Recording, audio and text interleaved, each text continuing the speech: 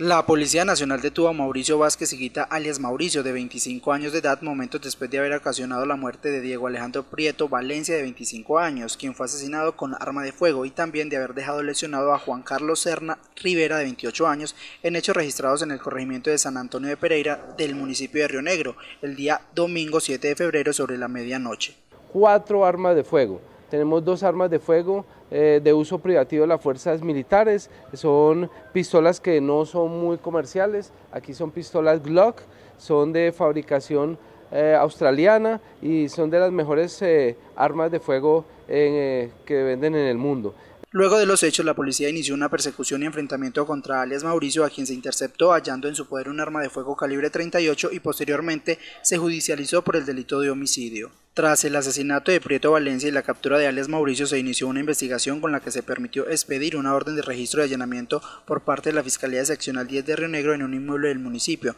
logrando la aprehensión de alias Brian, de 17 años, quien era utilizado para el transporte de estupefacientes, custodiar las armas de fuego y el alucinógeno de la banda delincuencial El Laberinto, a la que pertenecía junto a alias Mauricio.